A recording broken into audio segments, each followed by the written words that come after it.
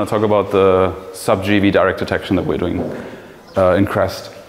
And so I think I can go quite fast over these first uh, few slides because, uh, well, it's known stuff that we have evidence for dark matter on all different scales. And the nice thing about introducing the idea of, of, dark matter and energy is that it can explain all of these phenomena on all scales compared to maybe some other ideas that try to explain only one of these. Uh, problem is that we still don't know what it is, which is why we're here. Um, we, don't, we do know quite little, but we don't know, know nothing about dark matter, so we can list a few um, properties of uh, what this dark matter should have, which is the amount uh, that we have in the universe, which we know mainly from the CMB power spectrum, and from here on, I'm going to just assume now we're talking about a particle, right? So for the rest of the talk, I'm talking about dark matter as a particle solution. Um, we know it's stable because it, on cosmological uh, timescales because it's, it's still here. Um, from structure formation, we know that it should not be hot, so it should be non-relativistic in some sense. Uh, we do know for sure that it interacts uh, via gravity, and if it, what it, it hopefully does interact with some other uh, force with the standard model particles that is not gravitational, but if it does, it must be some force on the, on the weak or sub-weak scale. Uh, the problem is now that uh, none of the particles that we have in our standard model fulfill all of these properties together at once. So a lot of clever people came up with a lot of different ideas. For, so we've seen this plot with a lot of different um, particle candidates spanning over quite a huge range of, of masses and interaction cross sections. Um, and so to, to try to detect these, in principle, one can divide the detection mechanisms into three main categories, which is the, the production of dark matter at colliders, then uh, going in the other direction, looking for an annihilation signal in, in like telescopes or satellites. And uh, the one that I'm, I'm going to be focusing on now is the direct detection which is uh, looking at the scattering. So the, the basic idea is basically really just uh, dark matter particle, particle scattering on a, on a nucleus, for example, and then leaving some nuclear, uh, uh, some, some recoil energy in that nucleus. And so the most simple basic picture we can look at is we're looking at some elastic uh, scattering, coherent scattering, and a spin independent case. Um, although like every one of these points can of course then be exchanged with something more complicated. But so that's just the most simple idea.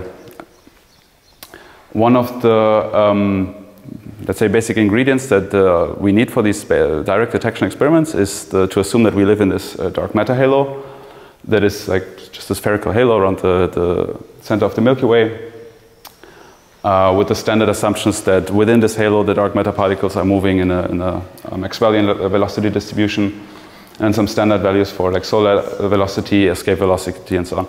And yeah, I know this, this dark matter density is, is kind of outdated um, problem here, I think, is that many experiments still use this number to just be comparable within each other or with all the results. But my personal opinion is it should be updated, but there should be, this is like a community-wide effort to really, that everyone uses the same number and then also probably you have to include it in your old results and so on. So, yeah. um, the spectrum that we would uh, expect to see in our detector is uh, described by this recoil rate. So here I have some color, oh, seems a bit shifted. Huh? See the old slide on the top.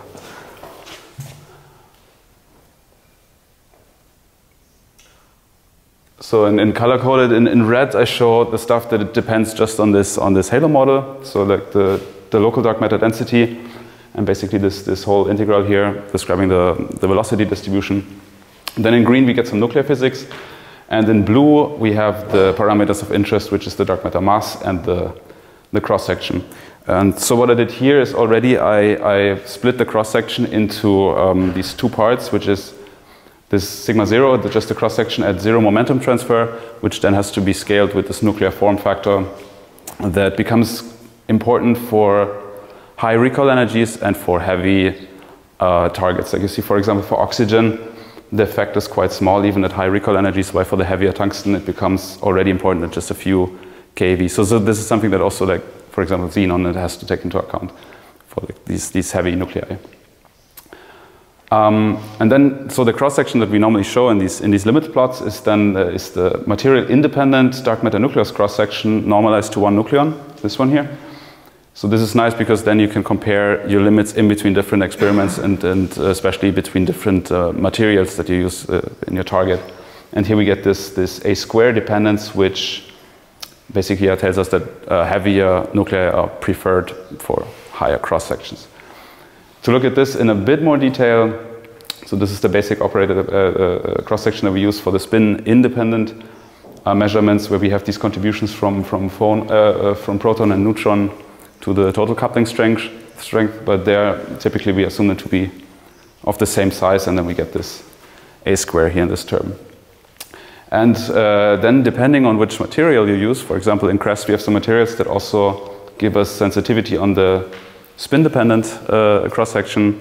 So as I said before, we have this basic picture, but then the whole, the, the recoil rate is quite modular. So you can just exchange things. Like for example, we can look for, for spin-dependent um, interactions as well. Then, uh, so this is what, the, uh, for example, on, on the calcium tungstate, which what we are using in CRESST, what this um, recoil rate would look like. Here you see really the, the effect, especially in the tungsten, of this, of this um, nuclear form factor. Looking at the range of masses, it becomes pretty clear that if you go to sub-GeV dark matter, for example, here in blue is the line for a 200 uh, MeV and the pink for a 500 MeV dark matter particle, you run into some experimental challenges, which is you're dealing with very low energies. So the endpoint of the spectrum, for example, for a 200 MeV particle is already between uh, 30 and 40 EV nuclear recoil energies. So you need a very low energy threshold to be able to see them. Plus, in addition, you're dealing with very uh, rare events. So this is uh, per picobarn, which normally we are orders below that, and then if your energy threshold is, is somewhere around here in the tens of EV, you're really dealing with very um, rare events. So we, we really need to make sure to keep our uh, backgrounds in, in control. So typical backgrounds that we have uh, is like cosmic radiation, of course, then some long-lived uh, natural radioisotopes, um, human-made radioactivity, and two very dangerous uh, backgrounds for us is, is, neutrons and neutrinos because they kind of mimic exactly the signal that we would expect from, from a dark matter recoil. One thing that pretty much all big uh, dark matter direct detection experiments do for shielding against the cosmic radiation is just going underground. And then uh, in your setup underground, you have additional layers of, of shielding, some vetoing, typically you really take care of, of, of checking the radio purity of the materials that you use. So this is all on the, on the setup side now, and then of course this last point goes more on the analysis side, where um, you can use some event by event discrimination. So many, many direct detection experiments use several channels to read out. So you can, you can use uh, heat, light, or charge, for example, and by using two of them, you get some kind of a handle on, on discriminating between uh, different, different events. Here's a probably not complete list. I tried to put everything there that I can think of, of, of like efforts that were done in the last decade. So it's really amazing how many experiments actually were looking for this. Unfortunately, nobody saw dark matter yet, but it's, it's really, it's a big amount of experiments looking in all, or in different, in different uh, parameter ranges for, for these direct detection signals. And uh, like, yeah, one of them is, is us here in CRESST, in Gran Sasso. So we're quite small collaboration of about 50 people from eight institutions in four countries. Uh, CRESST stands for a Cryogenic Rare Event Search with superconducting thermometers. We, we, it's a cryogenic experiment. Um, we're located in the underground lab in LNGS in Gran Sasso. So uh, it's about 1,400 meters of rock, which gives us quite a good shielding against uh, muons from cosmic radiation. And then we have inner shielding, which uh, helps us also with the, with the neutrons and the gamma um, particles.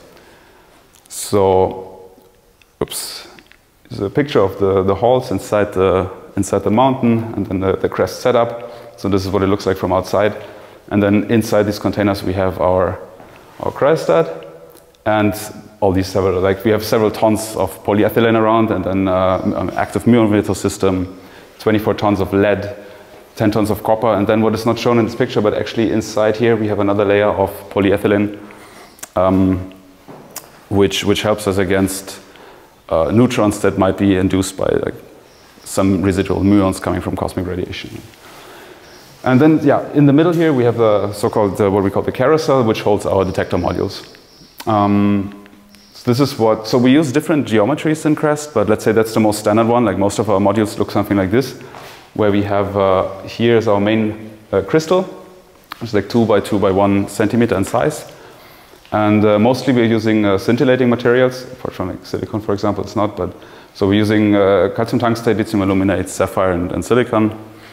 And so these crystals are all equipped with this little tungsten transition edge sensor, which, which we get these sensitivities for uh, nuclear re recoil energies of something below 100 eV. And then here, this disk shows uh, our light detector. Did it again. Um, so we, for example, in CRESST, we also catch the scintillation light of, of signals, which is like, so this is also equipped with the transition edge sensor. And uh, yeah, these we can just use for, for discrimination between the, the, different, um, the different recoil events. So the very basic principle, principle of this color, uh, cryogenic calorimeter is just if we have a particle interaction in our crystal, it heats up the whole crystal. So there's a signal going up and then it's coupled to a heat bath which brings it back down to its base temperature. So slowly cools back down and then we have a pulse with every interaction. In a little bit more, more detail, so these sensors um, are equipped with, a, there's a little bias current running through these transition edge sensors and they're kept at a temperature of like something between 10 and 30 millivolt, uh, millikelvin, sorry. And they're kept in an operating point pretty much exactly in the transition between the normal conducting and the superconducting state. So now if anything hits the crystal and heats it up by something in the order of, of microkelvin, the, the, resistance in this little bias current changes in the order of, of uh, milliohm. And then this is just read out with some squids, amplified, and then that's what we get a signal. So we have first this fast heating up, and then with the, the thermal coupling brings it back down to the, to the base temperature. So in this we do for, for both the, the phonon collector, this is the main absorber, and our light detector. And then we put them all into a, our light yield plot. The light yield is defined as just, um, for each event, the light signal that we see divided by the phonon signal. And this is calibrated in a way that we say that our most dominant background, some radioactive background, is mostly electron recoils. This is just uh, defined as, as a light yield of 1. And then in comparison to that, the nuclear recoils that we are, we are looking for are have a quenched uh, light output. So we can, up to, let's say, a point where they start to overlap, we have a pretty good handle on discriminating these, these events. Um, right now we're in CRESST phase 3, which started in, in 2016. So the first run of CRESST 3 was running it from May 2016 to uh, February 2018. We're still in CRESST 3. So here's a picture of, of uh, two years ago. That's me. That's so it's a nice thing. I'm doing analysis mostly, but in CRESST is quite small, so you get really the chance to see all parts of the experiment, which, which I personally like a lot. So I volunteered to go down to Gran Sasso to mount the new detectors of the, of the current run. These pictures are from uh, February 2020. Unfortunately, then the pandemic hit, and we had to wait a bit more than six months until we could actually start measuring, which then happened in the fall 2020 and is currently still running. It, to go back again to the first run, just a one slide about, uh, because the, the results I'm showing and most of the plots come from uh, or what we call detector A, uh, because this one just gave the, the best results and lowest threshold in this first run of CRESST. So this was a self-grown crystal. We have a, a, group at TU in Munich that grows these crystals themselves, and they have a very high radio purity, better than the ones that you can uh, get uh, commercially was a roughly 24 gram crystal and the total exposure of, the, of this measurement campaign was something a bit less than six kilogram days, so really not a lot, but tiny crystals. So. and yeah, the, so with this detector we reached a, threshold of only 30 EV. And so what, some things that were special about this uh, uh, module was that we, the, the holding sticks that were holding the crystal in place were themselves made of calcium tungstate and were also equipped with uh, transition edge sensors. So we had a, a fully, um, so we could uh, veto kind of look for, for events that were happening in the holding system. And then the second thing was that the whole housing was um, covered in this reflective foil to try to catch as much scintillation light as, as possible.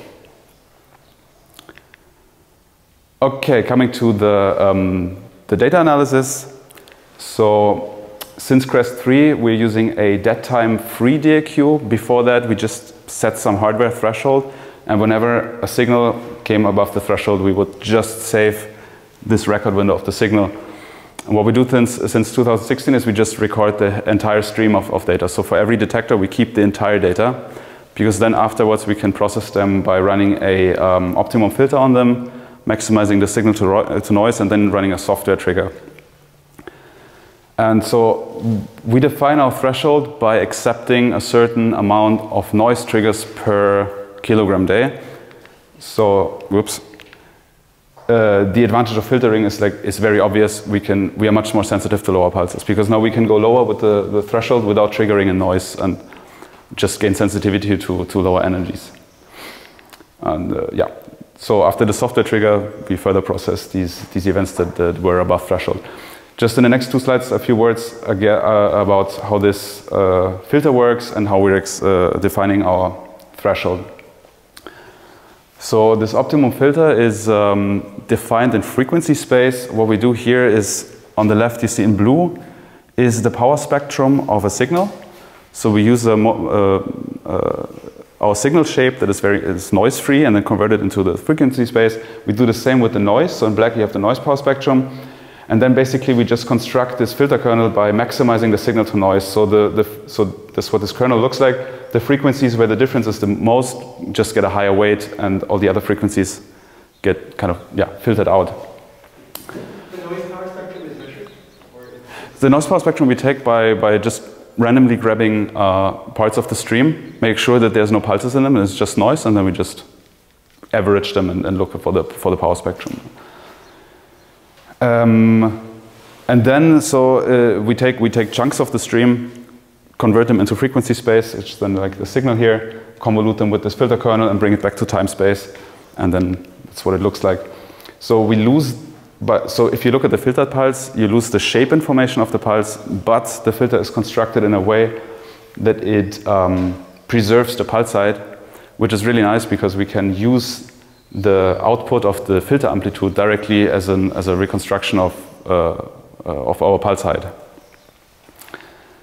Um, okay, so to the threshold determination, what we do is uh, we take empty baselines from all over the stream.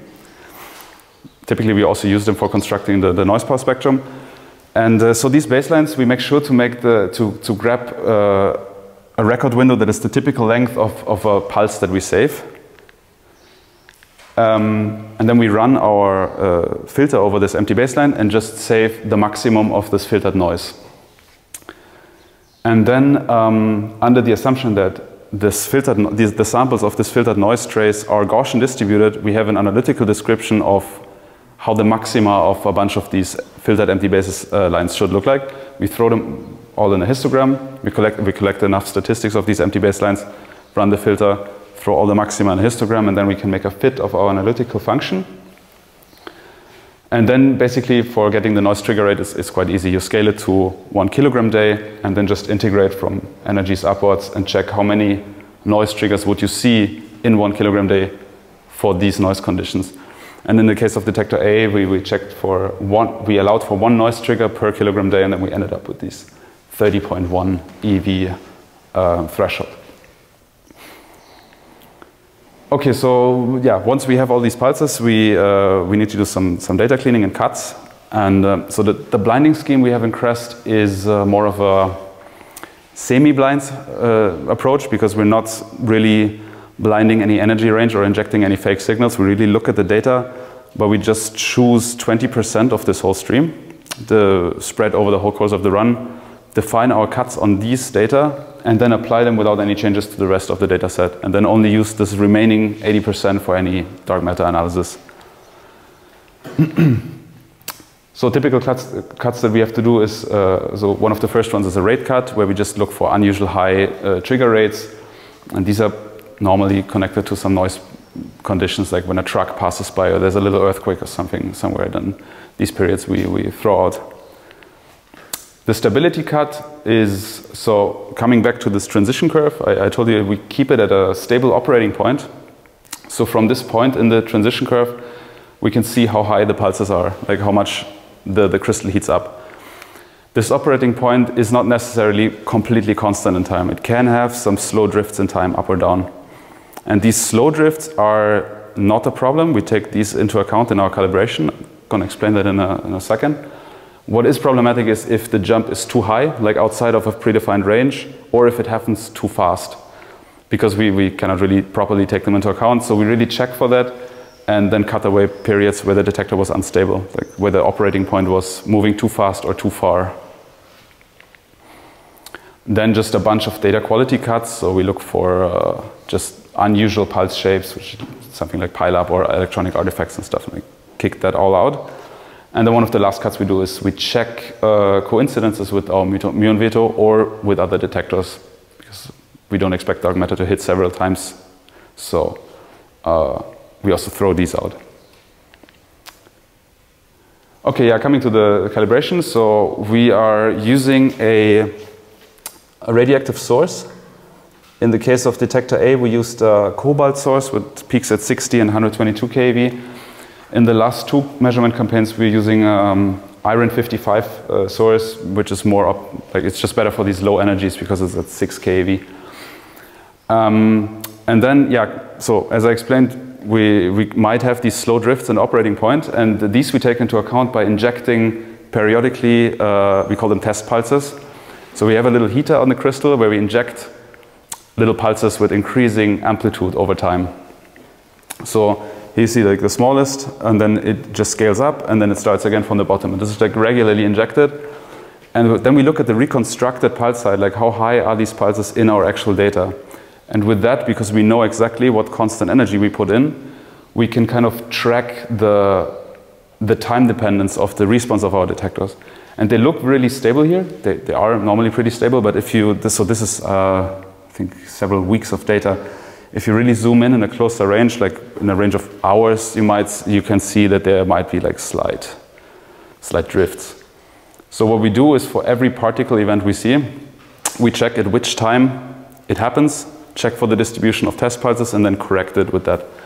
So uh, and then we, we take these corrected amplitudes and calibrate them to the to the to the source. And you, you can really see in, in many data how for example, this peak, if it's the, just a purely reconstructed amplitude that you see in the stream, how it's a bit wider, and then after you do this um, correction with the time dependence, they get a little bit more uh, sharp. So this is the first type of calibration, is the energy calibration. There's a second type of calibration that we do, which is the, the neutron calibration. The, the neutrons, the, they create a lot of nuclear recoils, so we use a neutron source to uh, populate our, our um, nuclear recoil bands in this, in this light yield plot. And then we use these data to run a, a band fit. So we use these data to fix the position of our bands, then leave them unchanged, and just put in our actual dark matter data. Here, just a little side note. This was a very nice feature in, in, the, in the, first run. We saw these cosmic activation lines uh, at a few keV.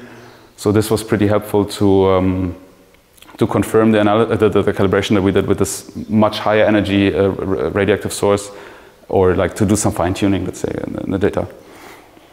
So, but then, yeah, once you have this uh, spectrum, we, we define our region of interest, which typically uh, we, we take the mean of the oxygen band down to the lower boundary of the tungsten band.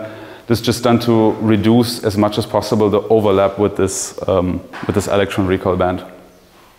And you see here really how most of the events are actually in the in the recoil band, where, which we assume is, is, just background, and just very few events down here get actually uh, accepted. So now we have our measured spectrum and we have our theoretical expectation. The last thing that we have to do before we can actually throw this into a, our analysis is to make sure that we take the experimental response properly into account. Because of course we don't expect to see this theoretical recoil spectrum that I've shown before. Um, and uh, so this we do by creating these efficiency curves, and this is uh, quite nicely done. We take empty baselines from all over the stream. This time we don't make sure that there's no pulses. We really blindly just we take so we take a perfect signal and scale it from zero up to whatever energy we want to look at, and then randomly throw them all over the stream. We just save the amplitude that it had and the timestamp. Uh, then we put this through the entire uh, analysis pipeline and check in the end how many of these survived. And then so by this, we, we artificially create pileups, or we might accidentally throw it on some uh, baseline that has some electronic artifact. So we really kind of simulate everything that we see in the real data. And uh, then you see in light gray, these are all the events that survive the trigger. And then in dark gray, these are the ones that really survive in the very end, all of our selection criteria and cuts that we do. And now we can take the, the theoretical spectrum and kind of just convolute it with this efficiency curve and then compare it to our data. And uh, for this, there's, there's two approaches. So you can either do uh, using a likelihood or classic way, just uh, using a Yellin. The advantage of the likelihood is that in principle it gives the better limits and you can use of any knowledge that you have about your, your background. Plus is the only way of, of having a, a, positive signal. So in case you really see a signal, you, you cannot use Yellin, you have to use a likelihood. Big disadvantage is that you need to know exactly what model to use for your background. And that's, at the same time, that's a big advantage of the Yellin is in case you have a background that you don't know, you don't need to care about that because uh, you, you don't need to include any information of, uh, of your background. And it's just more conservative. So normally for the, for the publications, we use this. Uh, disadvantage at the same time is, of course, if you do have some knowledge of, of your background, it's kind of hard to include it, or like basically impossible. You can subtract it before, but within the Yellin framework, you cannot uh, include it. Sorry, can you explain again what you mean by positive analysis uh, possible? Uh, signal, just uh, not not running a, a, limit calculation, but really a contour plot for a positive ah. for a signal. Yeah. So in a bit more detail, uh, what we do in the in the in the likelihood framework, we would uh, we have a predefined range of of dark matter masses where we would like to calculate our limit, and then we fix the mass at each point, and for each of these fixed points, we run a best fit of our cross section and our nuisance parameters, which so these include whatever background model we use, and then we fix the um, the cross section and run the fit again for the for the the background parameters. And uh, then we construct this test statistic, which is like after Wilks' theorem follows a chi-square distribution. So we can use, uh, so we kind of scan through the cross sections until we find uh, the cross section where the significance of this test statistics excludes the observed data up to the confidence level that we want to draw a limit for. Um, the way Yellin works is kind of similar idea. You calculate also for this pre predefined uh, range of masses, you calculate the expected spectrum of your mass and then compare it to your data. And uh, so in this maximum gap method, what you do is you look for the biggest gap between two events and uh, use that for scaling your cross-section down to, um, to the fixed cross-section that then excludes again the observed data with the confidence level that you, that you want to. What in real, so this is the basic idea. In reality, what we use is the, the Yellin optimum interval method, where instead of using an interval with zero events, it checks for an interval with just containing one event or two events or more events, and it does that for several events, and then internally the algorithm just kind of decides for the optimum interval that gives you the best limit, and then uh, does in, in principle does the same way. It looks at the expectation and scales the, the cross section down until the expectation is like significantly so you would, you would expect to see more than you do, and then you can fix your, your limit there.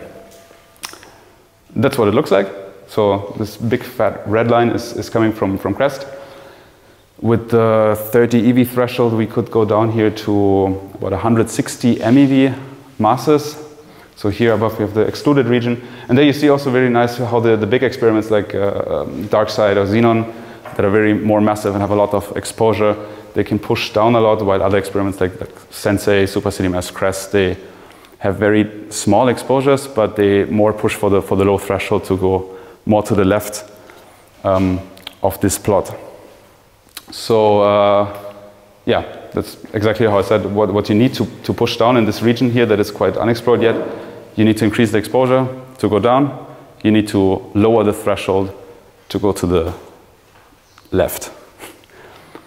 There's something else that is uh, limiting CRESST a lot right now, um, coming to the, the current state of CRESST, which is the low energy excess that many of you might have heard of. So CRESST is dealing with this unexpected uh, event rise, so which goes above the expectation of a purely flat background, which for us starts at about 200 uh, EV. And uh, yeah, we have the problem that we still don't know where this is coming from. uh, what we can say is that the pulse shape of these events is indistinguishable from particle events, so we kind of exclude that it's kind of uh, any, any electronic artifacts or something. Going in the same direction is uh, we exclude that it's just noise because A, it has a pulse shape, and B, I explained before how we define our threshold. So with a less than six kilogram day exposure, we expect maybe three, four events uh, of, of noise in here. Um, there is no clear scaling with volume or surface, which is among the, like, is one of the arguments that kind of speaks against dark matter. Also that it's incompatible between different detectors. We've seen it in different materials. So apart from the calcium tungsten, we also seen it in, in the second measurement uh, phase of, of CRESST 3 in a sapphire detector. And the very interesting feature is also it seems to be decaying over time. So here we have detector A from, from the first run we see that the, this, this excess is really decaying over the course of the run. And then here is a sapphire detector from, from the second measurement campaign showing the, the, same, the same feature. Sorry, what's the, what's the, uh, how long it takes to decay? Oh, days. Yeah, so in, in, in, in, the case of, of this detector it was just uh, 35 days. Uh, and here we were more in like 80 days, but a similar range, I would say. Sorry, and that's one detector? This is, this is two different detectors. This is uh, detector A, which is a calcium tungstate, and this is in this, uh, the following measurement campaign of CRESST, a sapphire detector. I mean, there's a bunch of, uh, so another interesting thing is that here, um, I don't know if you can read it, there's a neutron calibration in between, and it seems like it has no effect. Like after this neutron calibration, it keeps just falling down. Uh, yeah, so to that there is a bunch of, there's a big variety of ideas uh, related to stress in the crystal lattice, uh, stress coming from the holders, microfractions or something inside the crystal, impurities. Scintillation light that comes from somewhere in the holding structure that is not caught by the, by the light detector, low energy alpha events that happen close to the surface, and, and many more. Um, it's unfortunately still open question. But what we, what we are doing right now for disentangling this is we, we run uh, um, measurements with different configurations. So as mentioned before, we use uh, different materials with different hardness, different, just different properties. And then we have also modules that are basically the same, but one we run with the scintillating foil and one without. We use different uh, materials for the holding system, um, different, different, uh, different ways of holding the detector. So these are all designed. So the current measurement is really dedicated to this low energy excess. All these different detector designs that we use are specifically designed to disentangle uh, some of these ideas or hypotheses that we have about the, the excess. And um, so yeah, currently, pretty much right now, there is some, the finalization of the analysis is going on. So we're doing some confirmation tests and running some cross checks so that then next month, doing a bit of advertisement here for the excess workshop, which I think is a really nice thing. It's a common effort of the whole community because not only CRESST is seeing something like this, like this low energy excess, there are several experiments that have to deal with that. Um, and so there's this community-wide effort where people meet and like show the result of their efforts, show ideas what it could be, and so on. And we're going to have the third edition of this next month, and there I'm, I'm going to present some new results from the current run.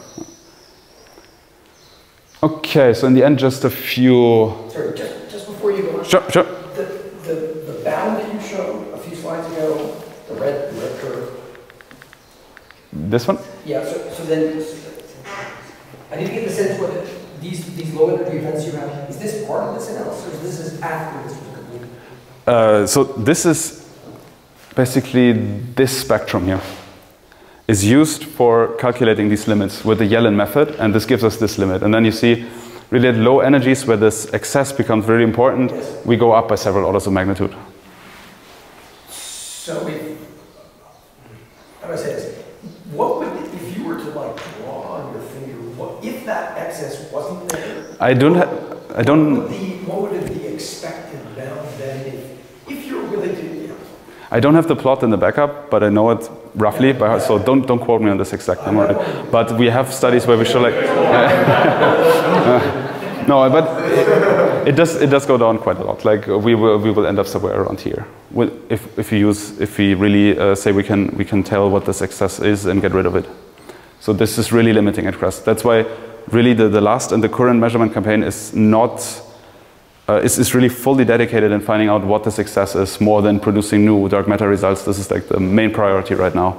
And the turnup is going to be effectively the same place because of the threshold. I mean, this sharp turn up here is basically coming from the fact that at 30 eV, if you look at the 160 MeV particle, the, the endpoint of the spectrum is basically at threshold, so you expect very low number of events, so then your sensitivity just jumps somewhere. You know? This is calculated for when the excess has completely decayed away to some steady state? Or So- does it include the? This is, this is uh, using the average spectrum.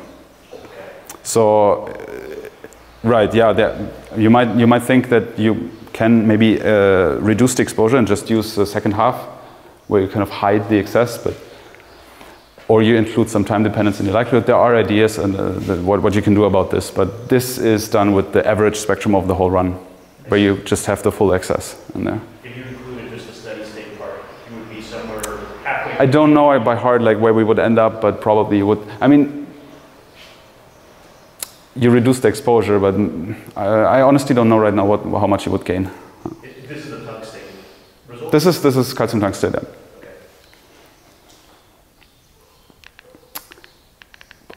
yeah. Okay. So right, so the, the plan for CRESST is that we upgrade to uh, 288 readout channels. So we, we're going to end up in, in the ton day exposures with this. And uh, so in last year we finalized the prototyping and testing of the wiring at the squids, and uh, the idea is to end of this year and next year to uh, install all of this at our setup at LNGS. At the same time, last year and this year we're doing uh, a lot of uh, detector R&D to try to push the thresholds even lower, but at the same time, of course, we want to try to maintain a high production rate because yeah, if we scale up the channels, we, we need a lot, a lot of detectors, so this is something we need to take care of as well. And then, yeah, plan is also to, to prototype and test them this year and then put them into, into the setup in Gran Sasso and then start uh, data taking with this um, next year. And then, yeah, we're hopefully going to push in this interesting regime and uh, let's see what we're going to find there. Find out the access, uh, maybe dark matter, who knows. Uh, and at some point, uh, with high enough exposures, we might even touch the neutrino floor at some point. Thank you.